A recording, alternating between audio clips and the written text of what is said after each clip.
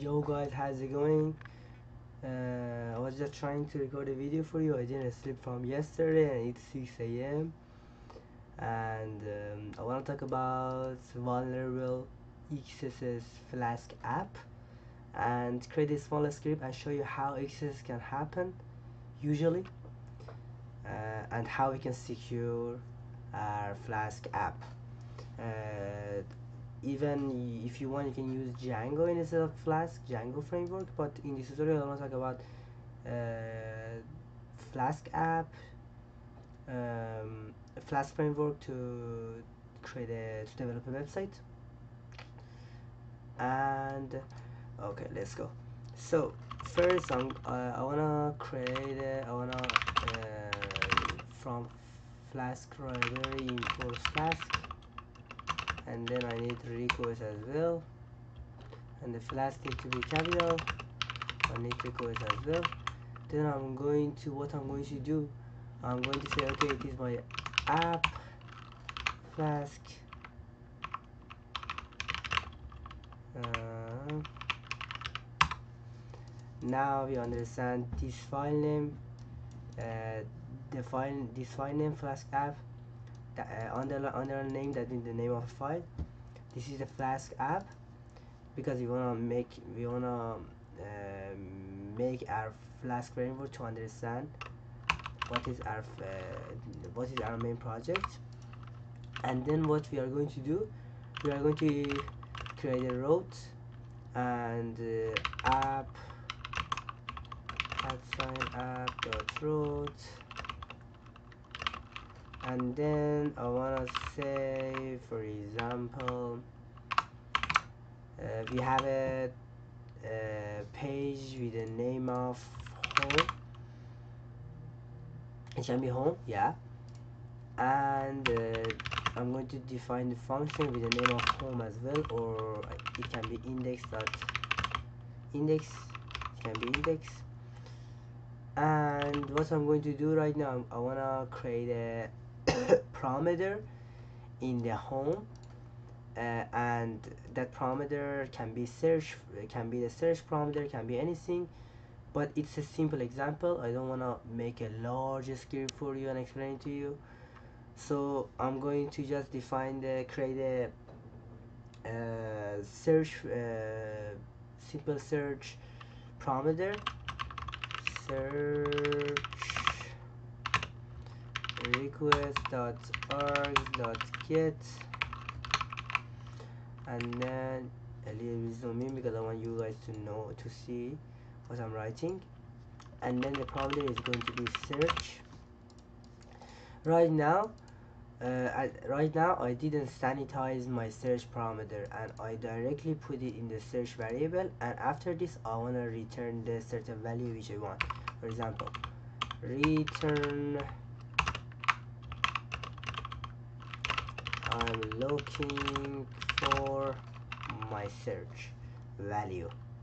Uh, so we can use dot format dot format and use search or we can simply use f string and search. There is no different and right now I didn't do anything that mean I didn't sanitize my search parameter and I directly put my search value uh, my search parameter value into the search variable. And after that I return okay it can be inside the h1 tag definitely. H1 and then I directly put it in the h1 tag and I say and I just say I'm looking for your search value and the search value can be anything. Can be a string and can be javascript code as well. Malicious javascript code. And then at the end I can simply run it. Or you can say app sign name is name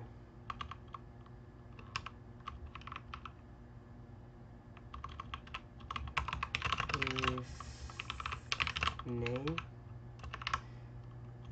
equal with equal with main app dot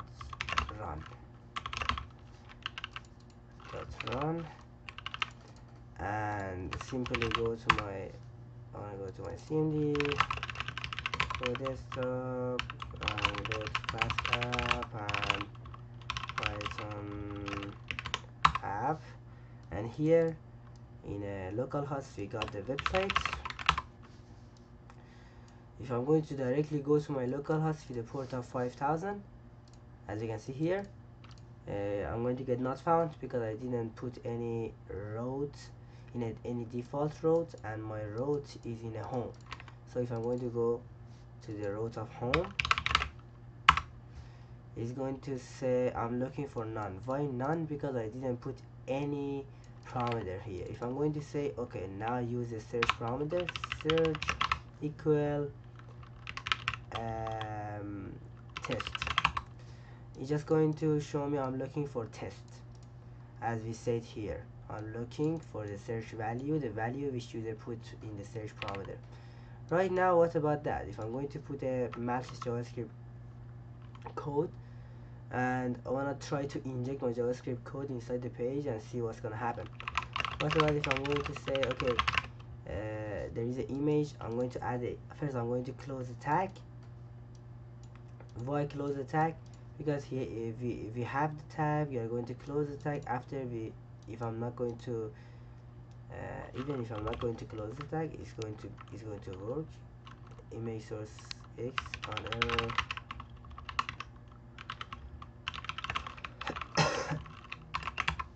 Here. Yeah. And as you can see we get the alert, alert 1 why? Because uh, we we will be able to inject our malicious JavaScript code. And we simply say we simply create the image tag and say our image exists in the source and and source is the location of our image and our location and the location of our image is x. But we know there is no x so we are going to get error. That's why we say on error that means whenever you get error and we are we just make sure we just 100 percent we know we are going to get error. And I said okay if we get error alerts or we can say even confirm or prompt or everything you want confirm. Or you okay for example? And then close the tag. Here we get the picture here but we didn't confirm here. Maybe because uh, I didn't write confirm correctly maybe. Yeah here confirm. Even we can put value inside it definitely. You put our quotation. Yeah here can see so uh, we simply inject our malicious JavaScript code uh, inside the page and we get the result we get the alert and we get the prompt uh, confirm and everything which you want. So simply hacker find the reflected XSS and can try to uh, steal a cookie of their user and send a malicious link to the user to steal a cookie of the, the user but how programmer can simply sanitize one of the way which can programmer simply sanitize the search parameter is that simply use HTML module and library to escape from any HTML character. What does that mean? That means if user try to inject any HTML character like double quotation like you know double quotation this this this I don't know this this kind of thing. Just going to escape from that just going to try to encode it. And let's see what's gonna happen after we use html.escape right now here uh, you need to close. What you have to do you need to close you need to close your python script and run it again. Because we are not in a debug mode. If i'm going to if i'm going to ask the if i'm going to put the mal uh, put the javascript payload here it's just going to still work. It's going to still work but we know it doesn't have to work. Why it's going to work? Because uh, we we saved our python script. That's right. But we need but we need to close the program and run it again python app. What about now? What about now? Image source x. Mm. yeah here as you, as you can see we didn't get the confirm and we didn't get any pop-up. And it's just going to it just simply reflect our value in the page as a response. So uh, it's kind of sanity san we uh, programmer simply sanitize try to simply sanitize the search parameter but that's not enough honestly. You have uh, programmers need to have a lot more ways to um, try to sanitize the parameter as possible. Was one of the ways which exists uh, you can just simply import the HTML and use HTML.escape to escape from the HTML character if user used. Because when hacker wanna inject a malicious JavaScript code first they're going to use HTML tag character to escape from the certain tag or to inject their own JavaScript code. But when we use this HTML.escape just going to uh, simply encode it uh, encode it.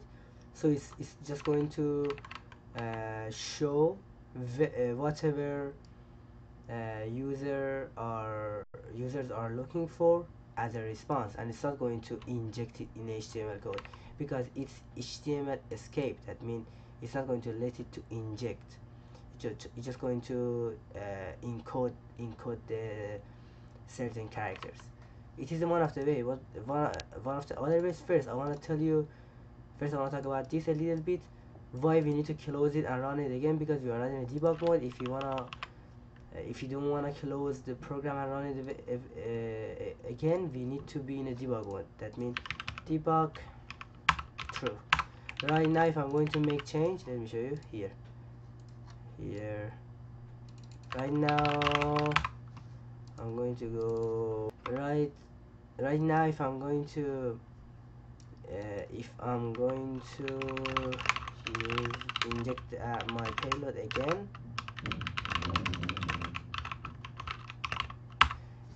It's not going to work. But what about if right now I'm going to remove the HTML escape?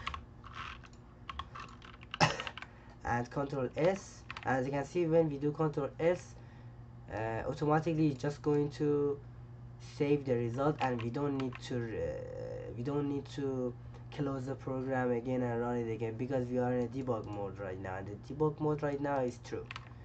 And simply if I'm going to press enter I'm going to get the alert one because we just we just remove the html.escape uh, and we just remove the html.escape function. And that's it. Another thing which I was trying to say was you can use ChatGPT and ask from ChatGPT how you can secure your Flask app I'm going to say how to secure my Flask app to avoid from XSS and it's just going to explain it, explain the XSS vulnerability and say okay you can use template engine you can use that and you can use sanitize user input. Can, there are lots of ways to avoid from XSS uh, you can use all of them uh, just in case. Uh, but one of the way can be using HTML module and using a HTML.escape function. I'm going to say okay write me escape based on the each way and add HTML dot escape way to avoid XSS uh, well oh oh my bad my bad my bad my bad. Right escape for each way. Just going to write escape for each of the way which just it mentioned it is one of the way using the bleach module. We can read the comment here sanitizing user input using bleach. And here bleach.clean you're just going to simply clean the uh, sanitize or clean the value and then try to render it. And uh, there's another way okay I'm going to say write me escape to avoid from XSS using HTML library. Like the way which I explained to you. Here you're just going to use simply use the HTML escape as you can see. HTML escape. Anyway we can say we can ask more question about from ChatGPT uh, so we can try to add a lot of security uh, things in our Python script to avoid from uh, XSS and avoid, avoid from this kind of in injection attacks. That's it. I hope you love this tutorial. So as I mentioned earlier uh, you have to make sure a lot of programmers make sure to sanitize their uh, parameter and sanitize all of their input. Whenever user can uh, can write something and whenever there is an input somewhere in website user can simply inject malicious code and it can be SQL malicious code lead to SQL injection JavaScript malicious code lead to XSS and even SSTI like for the server side interpreter injection which is uh, which is a vulnerability in a Python mostly. Uh, so mostly programmer need to try, need to uh, remember to uh, sanitize all of the inputs as possible. But these days we know not only programmers are going to sanitize the uh, inputs but also are going to use some firewalls which can help them to avoid from injection attacks. But uh, hackers are so creative and they're going to find a way to even bypass the firewall. So I hope you love this tutorial like before. I was just trying to tell you and explain to you in a both way as a programmer and as a hacker. And because when you have the both mindset uh, it's so awesome because it can help you to be uh, the best hacker ever. I'm saying that because uh, some newbies and some I can say script kiddies, kiddos they don't have enough mindset uh, like a web developer like a programmer.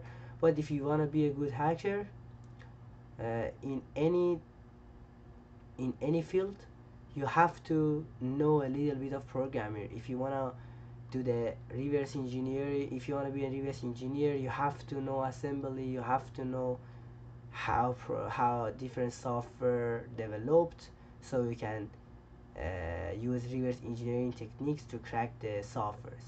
If you want to be bug bounty hunter at least you have to create some website develop some small website to understand uh, the way how websites work. And uh, even if you have to uh, do anything if you have to be if you want to be any kind of uh, ethical hacker and penetration tester you gotta have the both mindset. Not only hacking mindset but also programming mindset.